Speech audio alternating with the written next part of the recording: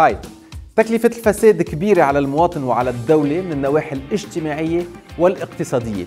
وبيحصد لبنان بحسب مؤشر الشفافية الدولية درجة 28 على 100 للسنة السابعة على التوالي.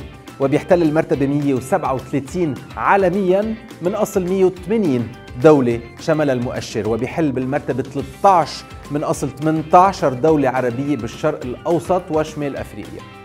ارتكزت الدراسة على استفتاء تم إجراؤه على عينة من المواطنين عبروا فيه عن نسب تمركز الفساد بحسب رأيهم. وبالنتيجة حل أعضاء المجلس النيابي والمسؤولين الحكوميين بالمرتبتين الأولى والثانية بنسبة الفساد مع 44% بيتبعهم رؤساء الجمهورية والحكومات مع 39% رجال الأعمال بنسبة 37% وبتحتل الجمعيات الخيرية نسبة 28% والقضاة 27% مين قال إنه كل هالأرقام قابلة للانخفاض بحال وجود الإرادة وقضاء مستقل بحاسب المرتكبين.